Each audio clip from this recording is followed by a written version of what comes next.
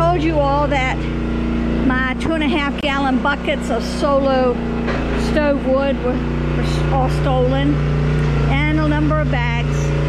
But that's okay. Somebody must have needed it worse than me. I've got nine bags ready. I don't know I'm going to do the solo stove wood again. This is what I have that I need to bag. And this is what he's working on splitting for me.